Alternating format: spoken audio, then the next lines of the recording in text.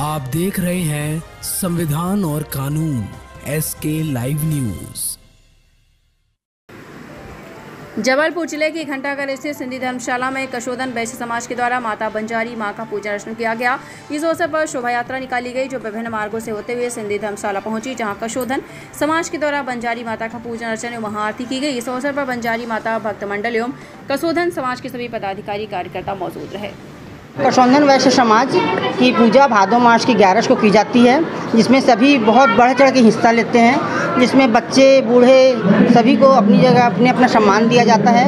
इसमें बुज़ुर्गों का भी सम्मान होता है, महिलाओं का भी सम्मान होता है। सभी को अपना अपना कार्यक्रम करने के लिए प्रेरित किया जाता है और बहुत अच्छे से, श्रद्धा से, विश्वास से और बंजारी माता की पूजा करके आके सिंधी धर्मशाला में ये कार्यक्रम को बहुत हर्ष और उल्लास के साथ मनाया जाता है। माया गुप्ता प्रदेश अध्यक्ष। गुप्ता परिवार के द्वारा बंजारी माता पूजा ग्यारस के ढोल ग्यारस में होती है।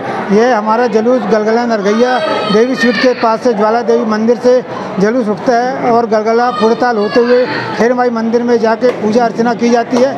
वहाँ तत्व पश्चात प्रसाद वितरण होता है। उसके बाद सिंधी धर्मशाला में सांस्कृतिक कार्यक्रम और पूजा अर्चना के साथ यहाँ बच्चों के कार्यक्रम बड़ों बुज़ुर्गों का सम्मान किया जाता है। और यही कार्यक्रम हम लोग का हर साल प्रतिवर्ष होता है। यह एक सौ नौ वर्ष हो गया बंजारी पूजा के। नाम डॉक्टर गिरीश गुप्ता, कथन गुप्ता परिवार, पूर्व अध्यक्ष। खबरों के लेटेस्ट अपडेट के लिए इसी तरह हमारे साथ जुड़े रहें और इस वीडियो को ज़्यादा से ज़्यादा शेयर करें।